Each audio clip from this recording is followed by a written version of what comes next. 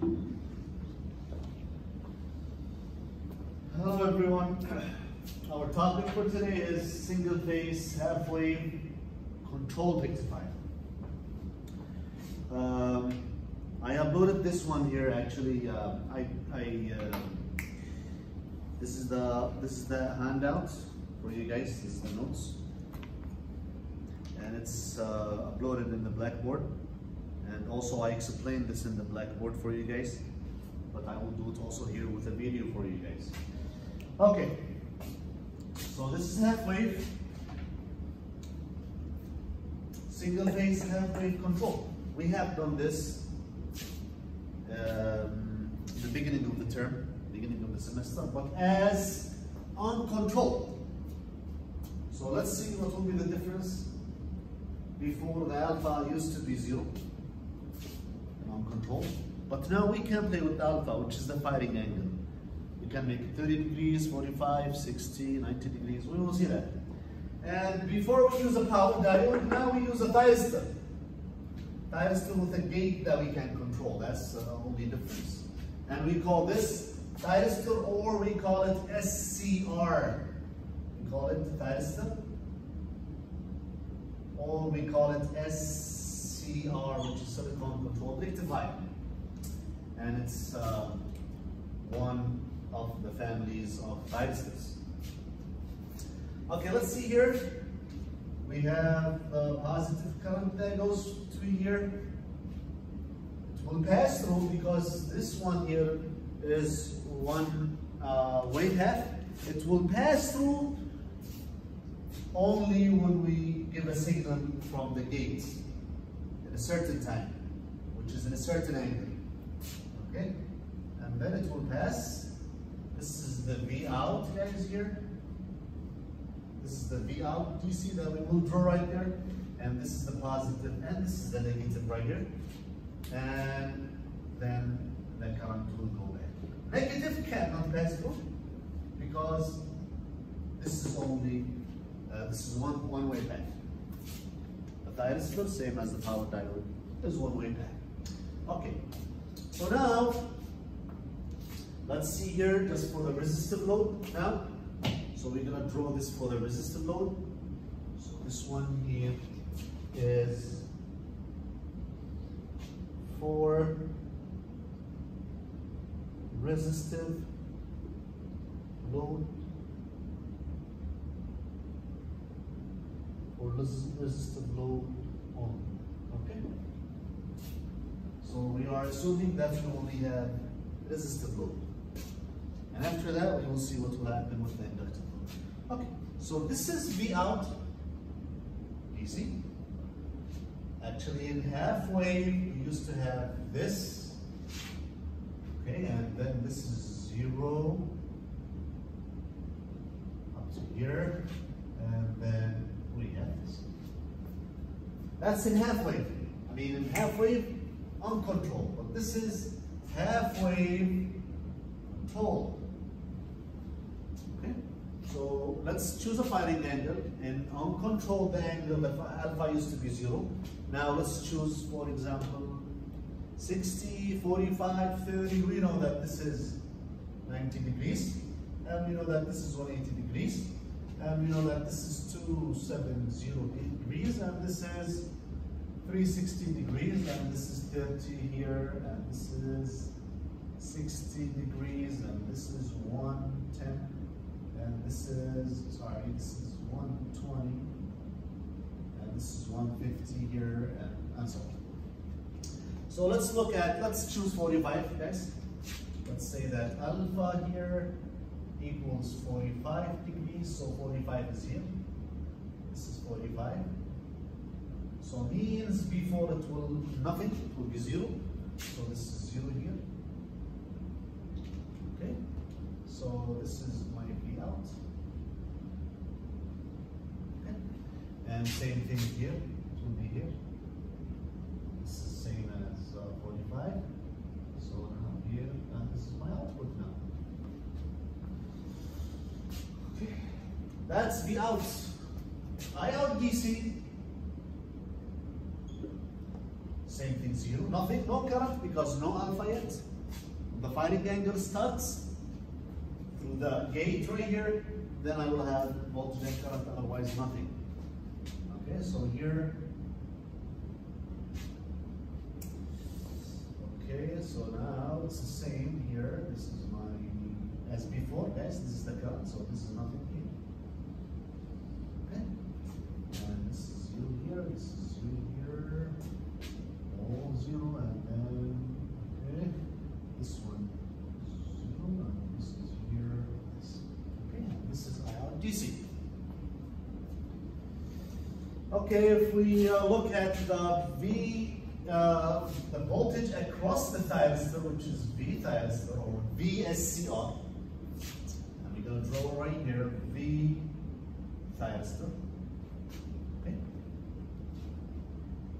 And as we explained before, if there is current, if there is current through the thyristor, through the power diode, the voltage across the thyristor is zero because the potential difference is zero as we explained before.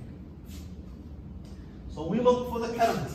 The current from here up to here is zero. So, I mean, there's current, so the potential voltage is zero. So the voltage across the thyristor is like a short circuit. And the same thing here up to this point here. So that's okay.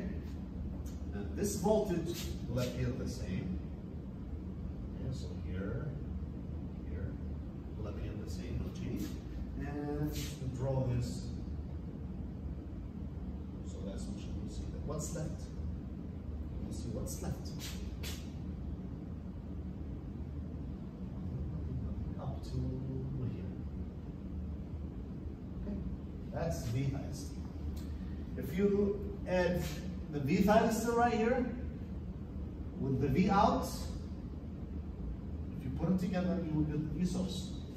This is one of the ways just to, to know if you're okay or not. As a. This is for the for the resistive load only.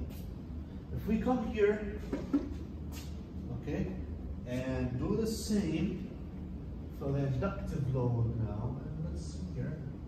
So now I have this. Now I have this. Okay, now I have inductive load. And uh,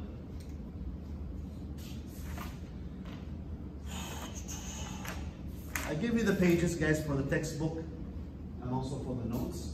Please look at page 94 to 99 in your textbook and pages 40 to 48 in your notes. Okay? Okay, so those are the pages. Okay, I'm gonna start with this.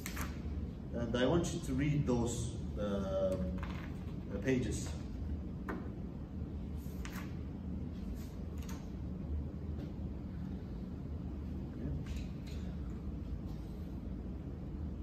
So now this one here, just to let you know, as before, this point is alpha, and this point here is beta, and from here to here is gamma. Okay? And we know from before that to find conduction angle beta minus alpha. Okay, so in this case, conduction angle is 180 minus 45 equals 135. Equals. Okay. This is here Vmax.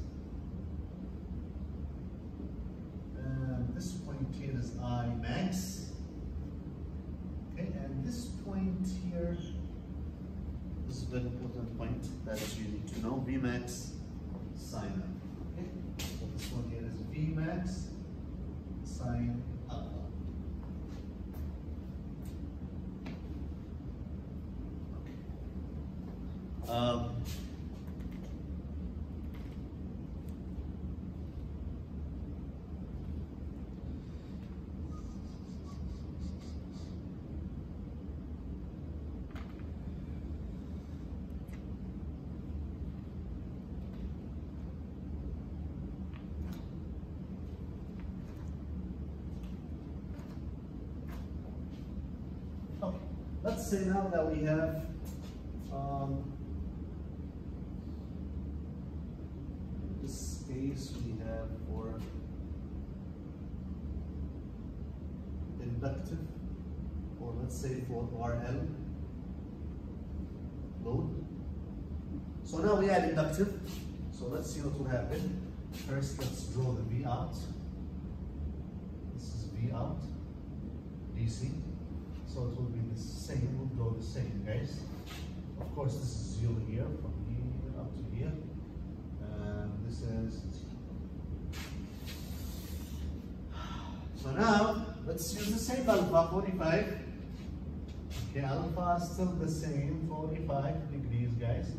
So this is 30 here, guys and this is 60 and this is 90 so it will be right here okay so here this is gone okay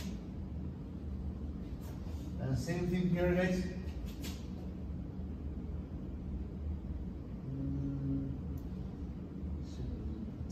exactly so this is gone And this is output. Okay. Okay, now we have inductive, guys. If we have inductive here, as we explained in the uncontrolled, if I have, let's say I have resistive and inductive here, which is for that case. What will happen? When the, when the current passes through the inductive load, what will happen right here? There will be magnetic field stored, or there will be current stored in the terms of magnetic field. And then during the negative, nothing is happening. Nothing. So what will happen? The polarity will be flipped. Polarity will be flipped, guys. And the inductive will release. The inductive will release the current. And the current will go through the main thyristor, through the, yeah, because, I mean, uh, we can have uh, we'll, we'll talk about the freewheeling of that. Anyway, so it will release, same as what we explained in the control, it will release through the thyristor till, um, till the, uh, the magnetic field is released, then it will stop. So that's what we will see here. I mean, just we draw this just to know as a reference. Then it will release, release, release. We don't know where it will stop. Let's assume that it will stop right? And then the rest is you. And then the rest is you. Same thing right here. It will, it will release like this. Okay? Something like this.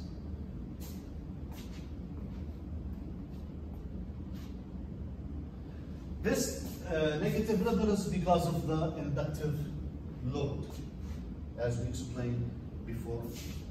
The current will passes through the inductive load, and the inductive load will keep charging, charging, charging because of the current.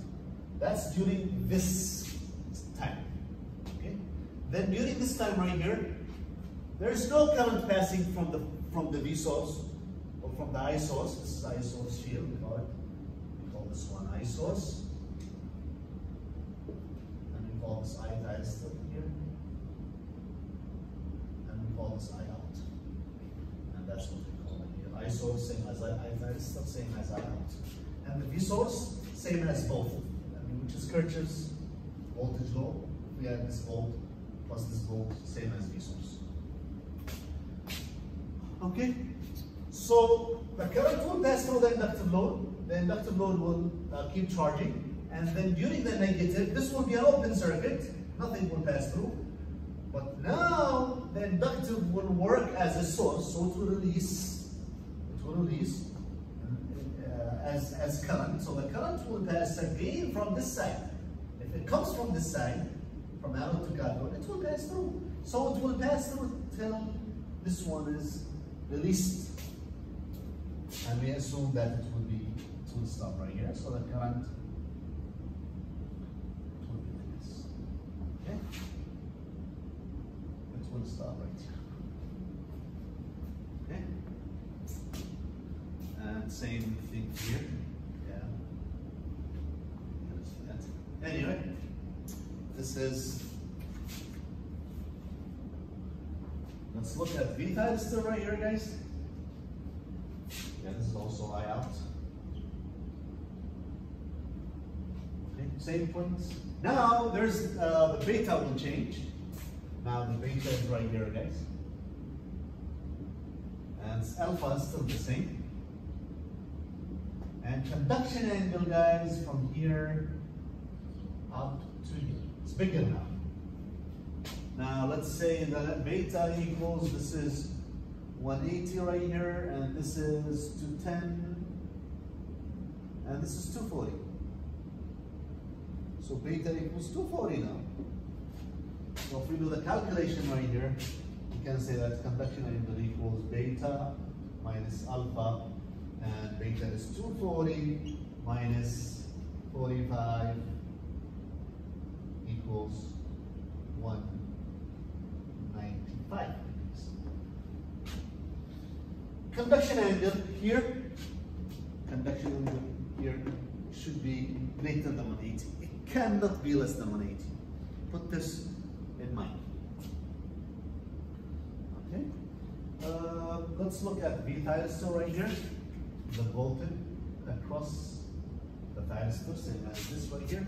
As we said before, when we have current, we look at the current. There's no voltage across the thyristor because it's like a short circuit.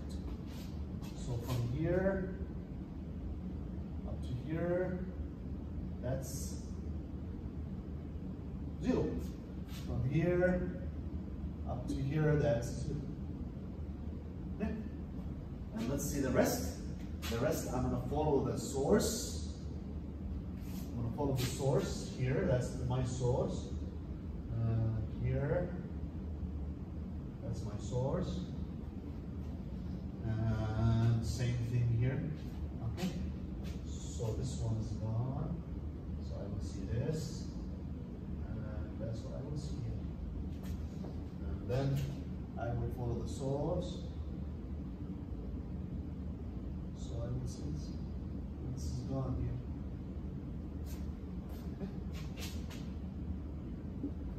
And uh, same thing here.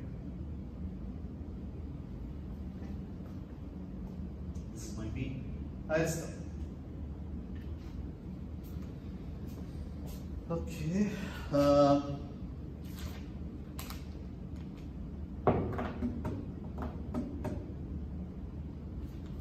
you can look at this on page uh, 97 here, guys. Okay, that's for the inductive load.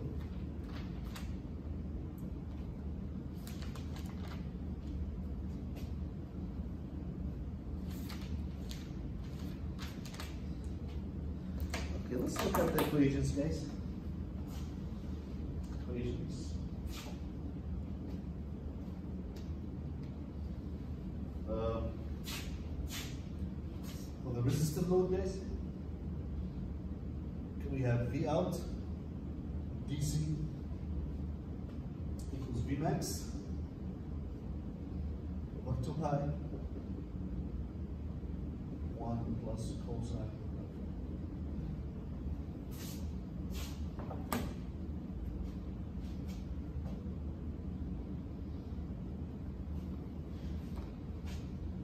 And the VRMS also. V out RMS equals V over 2. Square root of 1 minus alpha over pi plus sine 2 alpha over 2 pi this is the autonomous.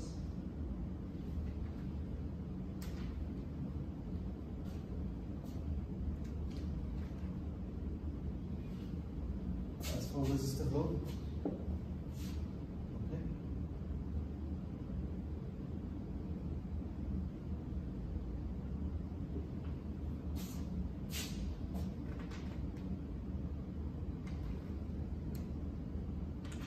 And then V out DC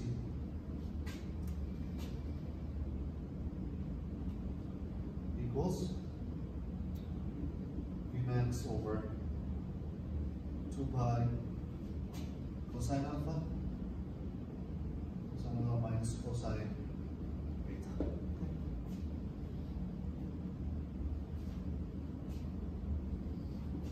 This is for RL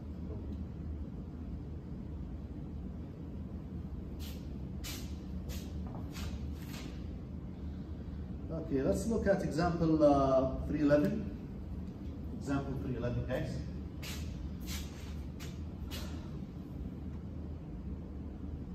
Not 311, uh, sorry. Example uh, 310. So in example 310, example 310,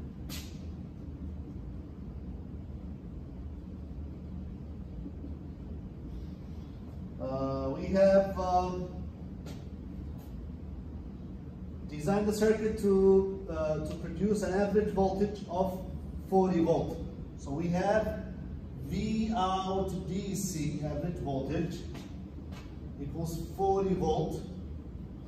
And we have uh, 100 ohms so resistance equals 100 ohms. Um, and we have the V source equals 120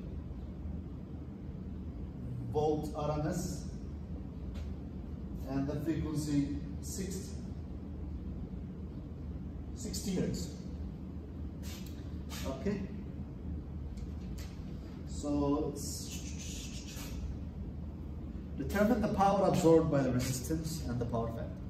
So they're, they're looking for the question is determine uh, the power absorbed. Okay? So determine the power absorbed. Okay?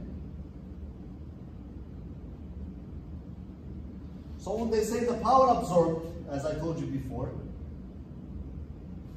means the P out RMS. So they're looking for the P out RMS.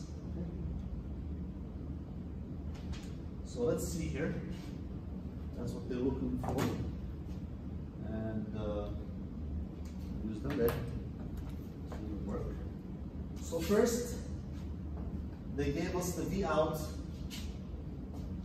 DC. So we can, from here, we can, we can find, okay, first, they're looking for the autonomous, so that's the equation they're looking for.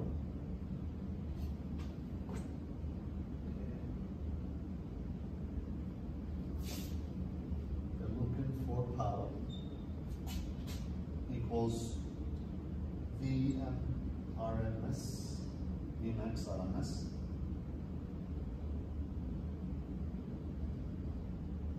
Square over resistance. Okay? So we need to find Vmax RMS. Vmax RMS.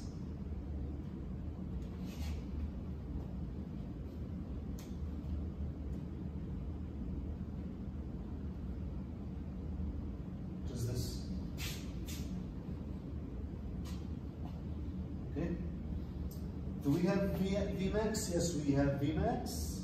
Do we have alpha? No, we don't have alpha. We have everything except alpha. Okay, so that's here, that's what they're looking for. But this is the equation here. But alpha is missing, but we can't find alpha from here, guys. We can't find alpha from here. If this is given, which is the, the 40, okay? So here, can say that 40 here equals Vmax. Also, we can find Vmax. If this is given, that the uh, source is given. Okay, so Vmax is 120 times square root of 2. So Vmax equals 120 times square root of 2. That's the Vmax. Okay, so here I will have 40, and this one here is 120 square root of 2, 2 pi, 1 plus cosine alpha. I can bring everything right here, and then it will be uh, alpha equals cosine inverse of a value and alpha will be um,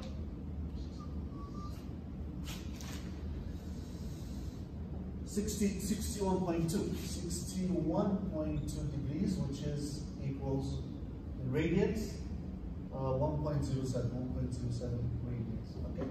So now we found alpha. So we have alpha, we can substitute here. We have Vmax, we can substitute here. And we have everything. So we can find V out RMS. So V out RMS by using this equation here.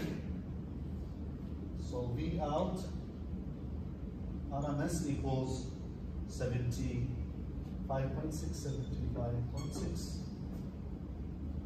So I have a power here equals 75.6 squared divided by the resistance which is 100 and that's uh, equals 57.1 watts. And then the power factor guys, we know the power factor which is the real power which is P over the apparent power over S and the real power is uh, 57, which is this, 0.1 divided by the apparent power, which is V source RMS, times I RMS. Okay.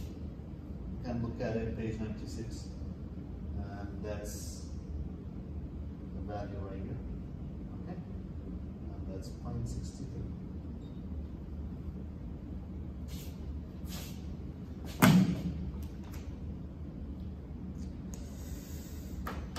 Okay guys, this is single phase half wave controlled rectifier. It's almost the same as uncontrolled, except that we have uh, we can play with uh, with the firing angle which is alpha. Okay, this is for the resistive load, and this is for the inductive load right here. Inductive load RL. So just to this is RL guys for RL. this case here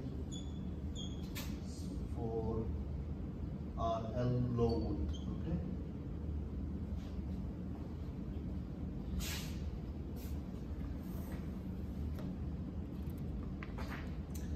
Uh, freewheeling. Yeah, we can have a freewheeling right here, guys. If we have a freewheeling, the freewheeling will be right here. Use another color guys. The freewheeling will we'll put it right here guys. And we're going to use a normal diode, normal power diode. This is the freewheeling. So now what will happen? The positive will go through the thyristor and the inductor now will be charging. And then when it's discharging, it will not release through the V-source and through the thyristor. It will release through the freewheeling diode.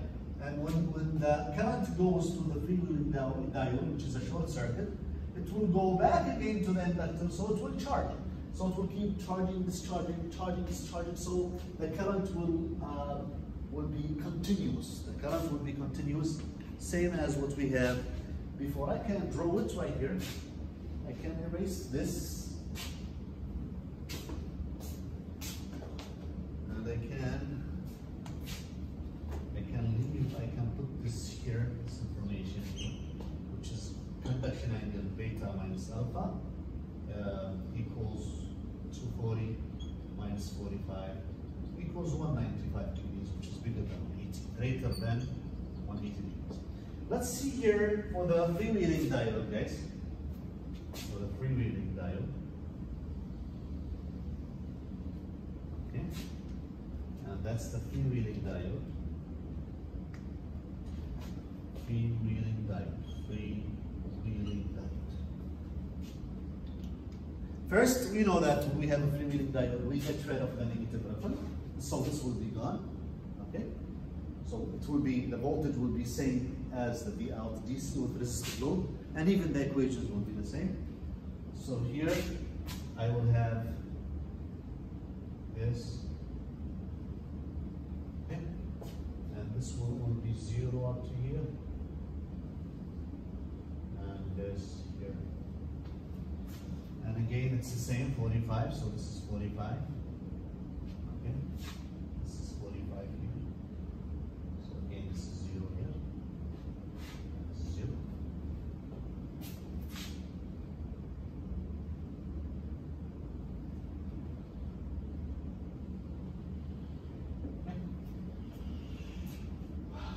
Negative ripple is gone. And you know, when we, uh, when we have a freewheeling diode, uh, we get rid of the negative ripple, we improve the voltage and current, which is the power, that's the main thing. And also we protect the main uh, thyristor, because the current will not go back through the main thyristor, it will go back through the freewheeling diode. Okay? And also the current will be will be continuous to 2 pi, and we will see that right here. So the current, the current will be from here increasing, and then it will start decreasing. Now, this current right here, up to this point, is through the through the thyristor. After that, because we will have a loop, and the current will keep it goes back to the to the inductor, it will charge again and again. It will last longer, and this current is through the freewheeling diode, so it will be continuous up to and then it will pick up again, and so on. Can you guys see that?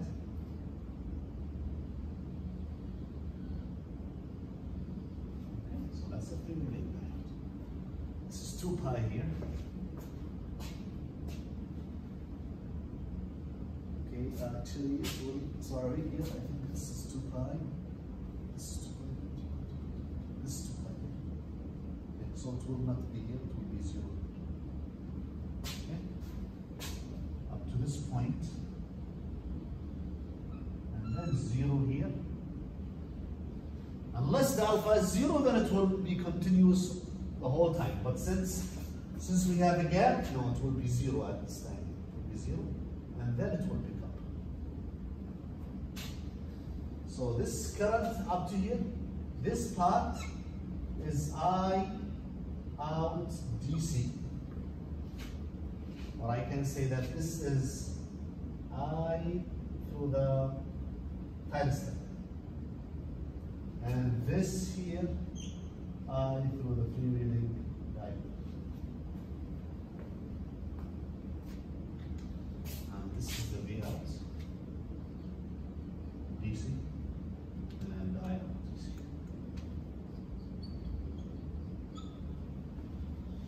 Okay, so with the freewheeling diode, we have four things. One, get rid.